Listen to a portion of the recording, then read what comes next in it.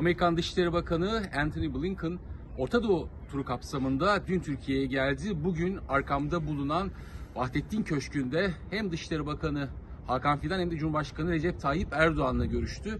Tabii ki görüşmelerde bölgesel konular ele alındı ama 3 ağırlıklı gündem maddesi var. Bunlardan ilki hiç kuşkusuz 6 Ekim'den beri İsrail Filistin'de süren mesele. Türkiye bu konuda Amerika Birleşik Devletleri'ni sert bir dille eleştiriyor. En son Cumhurbaşkanı Erdoğan 9 Aralık'ta Amerika'yı çok sert eleştirerek adil bir dünya mümkün ama bu Amerika ile birlikte değil İsrail'de Filistin'e yaptıklarının e, sorumluluğunu nasıl üstlenecekler, bunun hesabını nasıl verecekler diyerek tepkisini ortaya koymuştu.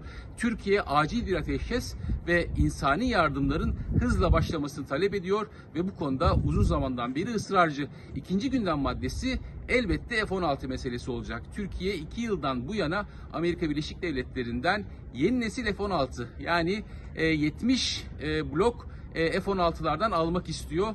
Bununla ilgili olarak 40 tane F-16'nın alınması yönünde bir talebi var. Ayrıca e, kendi envanterinde bulunan F-16'ların da F-16'lardan 79 tanesinin yeni e, 70 blokla e, yenilenmesini istiyordu.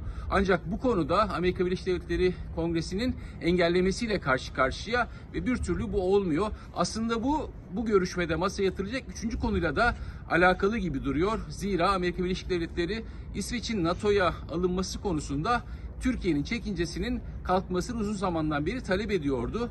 Türkiye'nin ısrarı son zamanlarda giderilmiş gibi gözüküyor. Özellikle Erdoğan'ın Amerikan Başkanı Biden'la yaptığı son telefon görüşmesinden sonra ve bunun hemen arkasından 26 Aralık'ta İsveç'in NATO'ya üyeliği konusu Türkiye Büyük Millet Meclisi Dışişleri Komisyonu'nda görüşüldü ve şu anda söz TBMM Genel Kurulu'nda onun da onaylanmasının ardından onaylanması halinde İsveç'in NATO üyeliği konusunda Türkiye bakımından bir engel kalmayacak. Bu da bugünkü gündem maddeleri arasında yer alıyor. Ve üçüncü gündem maddesi e, bu şekilde oluyor. Yani üç mesele nasıl hemen tekrar hatırlamak gerekirse ilki e, Filistin meselesi, ikincisi F-16 meselesi ve üçüncüsü de İsveç'in NATO'ya üyeliği. Bu konularda görüşmeler yapılacak ve görüşmelerden ne sonuç çıktığını ilerleyen saatlerde öğreneceğiz. Akşam saatlerinde Anthony Blinken Türkiye'den ayrılacak ve Yunanistan'a geçerek Başbakan Kostas Mitsotakis ile bir görüşme yapacak.